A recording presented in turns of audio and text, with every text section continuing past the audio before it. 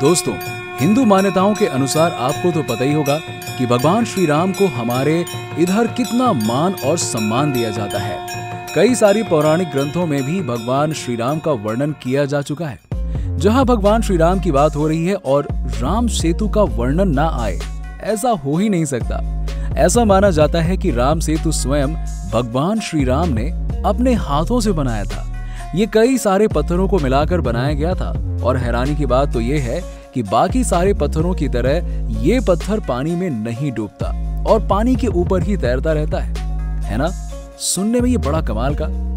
दोस्तों, ऐसा भी कहा जाता है कि राम सेतु करीब सात हज़ार साल पुराना है और इतना पुराना होने के बाद भी ये काफ़ी अच्छी हालत में मौजूद है। और शायद आप अभी भी इस पर चल सकते हैं।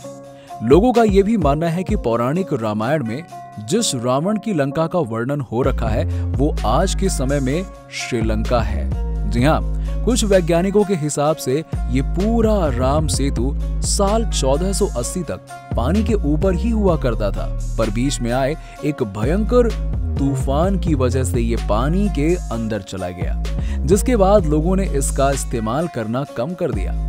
तो चलिए दोस्तों, आज की इस वीडियो में हम बात करेंगे इसी सात हज़ार साल पुराने अद्भुत चमत्कार के बारे में, जिसे देखकर आपके मन में कई तरह के सवाल आते होंगे। जैसे कि, क्या ये सचमुच में भगवान श्री राम के द्वारा बनाया गया था? राम सेतु के निर्माण में कौन से पत्थर यूज़ हुए थे? क्या आज राम सेतु का कोई वैज्ञानिक प्रमाण है? ऐसे कुछ सवालों से हम पर्दा उठाएँगे इस वीडियो में। राम सेतु क्या है?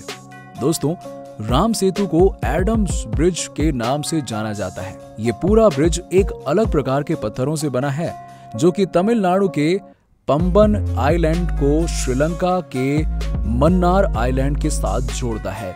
ये करीब 50 किलोमीटर लंबा है और देखने में बहुत ही ज़्यादा सुंदर है।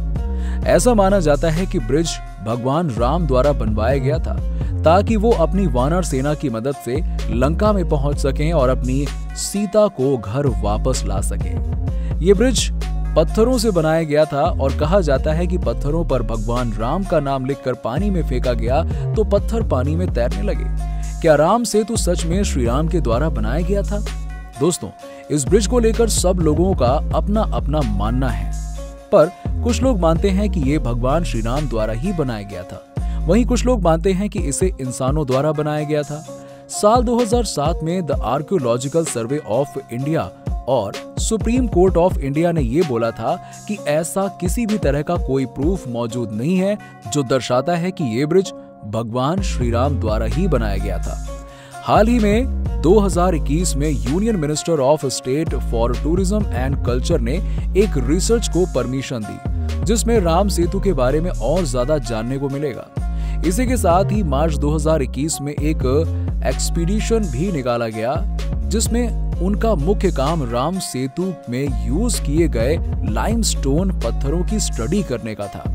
इसके पीछे का मकसद ये जानना था कि ये पूरा ब्रिज इंसानों द्वारा बनाया गया है या फिर नहीं, ताकि जो सालों से चली आ रही डिबेट है, उस पर फुल स्टॉप लग सके।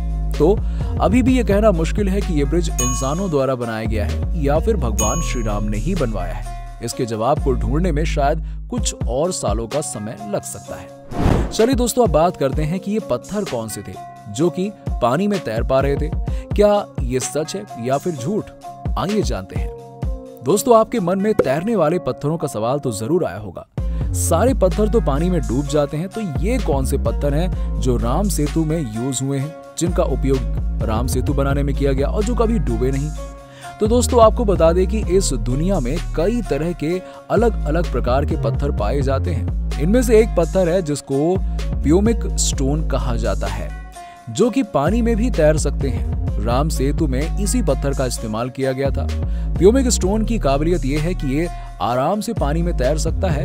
ये प्यूमिक स्टोन उठाने में बहुत ही ज़्यादा हल्के होते हैं, क्योंकि इसमें बहुत सारे एयर बबल्स देखने को मिलते हैं। ये पत्थर ज्वालामुखी से निकले हुए लावा से बना होता है, जिसका टेम्परेचर शुरुआत में करीब 1600 डिग्री सेल्सियस से भी ज़्यादा होता है और समय के साथ फिर से ठंडा हो जाता है।